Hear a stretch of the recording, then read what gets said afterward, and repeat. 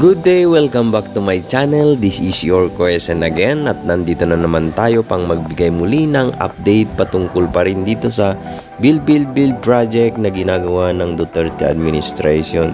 So ngayong araw, puntahan naman natin muli ang MRT7 dito sa North Avenue, Quezon City.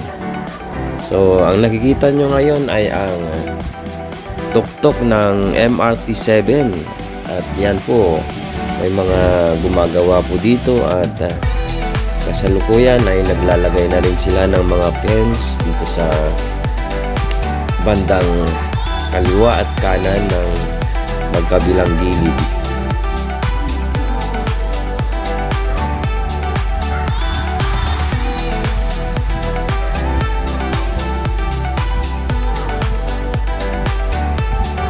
So, itong station na to ay harap ng SM North at saka Trinoma. Banda dulo, yun na yun po yung Unified Grand Central Station.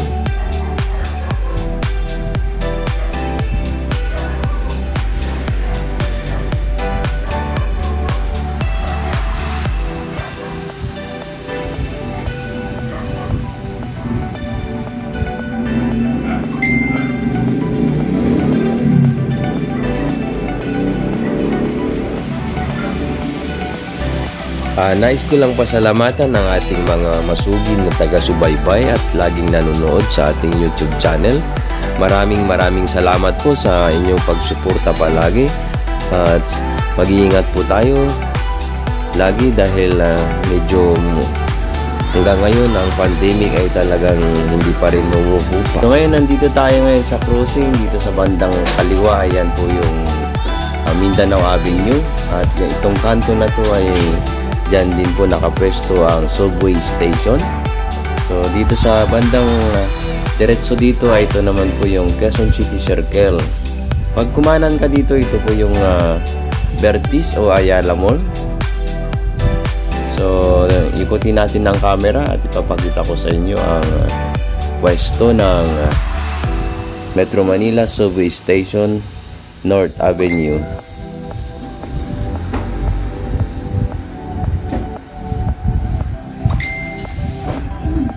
Ayan po yung uh, subway station dito sa North Avenue.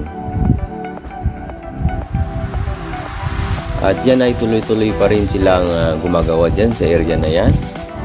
At dumating na rin po yung TBM o tunnel boring machine. Ayan po ang Metro Manila Subway Station mga kababayan.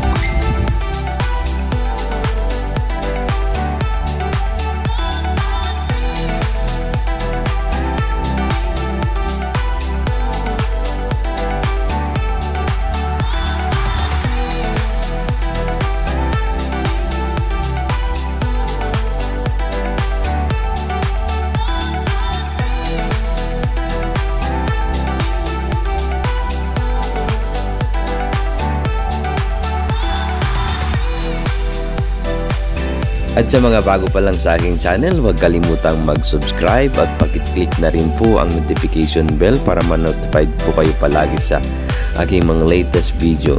Huwag din kalimutang mag-comment kung ano ang iyong gustong iparating, kung ano ang iyong uh, mga suggestion o kung ano po ang iyong mga nais idagdag sa information tungkol dito sa MRT7 at uh, Metro Manila Subway Station.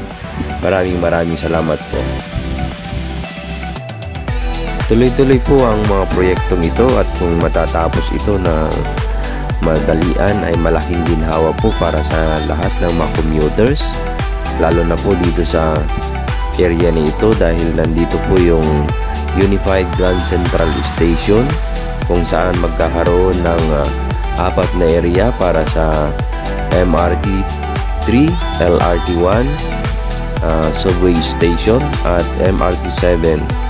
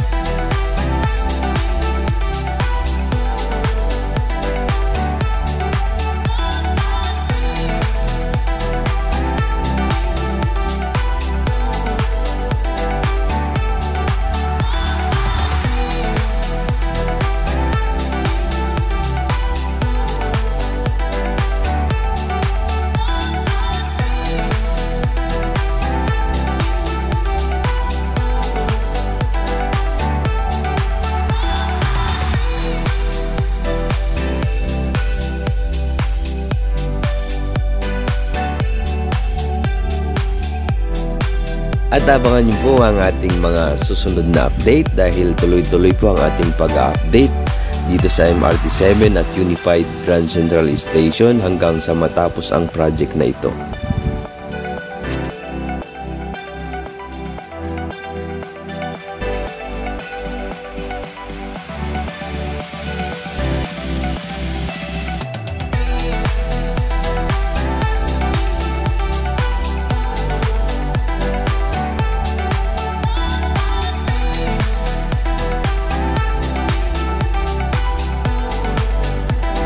At hanggang dito po muna ang ating update. Maraming maraming salamat po sa lahat ng mga sumusubaybay at sumusuporta sa ating YouTube channel.